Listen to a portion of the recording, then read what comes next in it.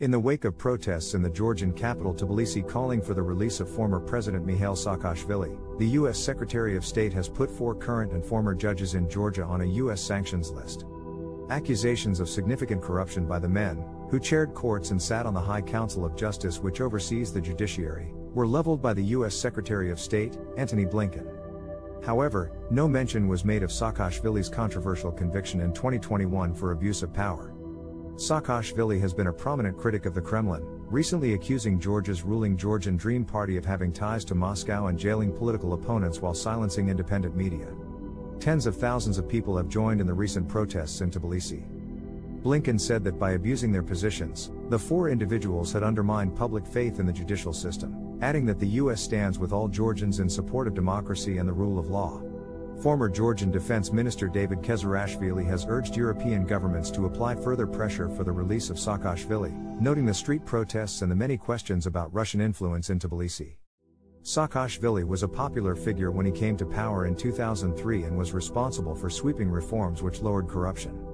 However, his two term presidency was marked by controversy, and in 2008, he ordered a military operation in the former autonomous Georgian region of South Ossetia. This move is largely blamed for a war with Russia in which they now control 20% of Georgian territory. Saakashvili claims to be dying in jail, having been both beaten and poisoned while being kept in isolation. The U.S. sanctions list bans all four men and their families from traveling to the U.S. and also makes it illegal for U.S. entities to do business with them. Moruzadze has claimed that the U.S. government may go further than simply banning travel, raising concerns for the safety of both him and his family. The European Union has commented that before Georgia can become a formal candidate for EU accession, they must make judicial and governance reforms.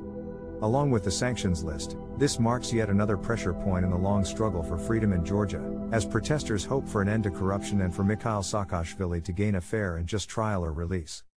The U.S. is standing with all Georgians in the fight for democracy, rule of law, and accountability for those who wrongfully abuse public power for personal gain. Now more than ever, the eyes of the world are on the current state of affairs in Georgia, following the resistance against those who seek to silence the nation's voice. It remains to be seen whether the U.S. sanctions list and push by the EU will be enough to create meaningful change in Georgia, and if so, how quickly it can come. While Georgians fight for a more just society, the rest of the world watches and hopes for success.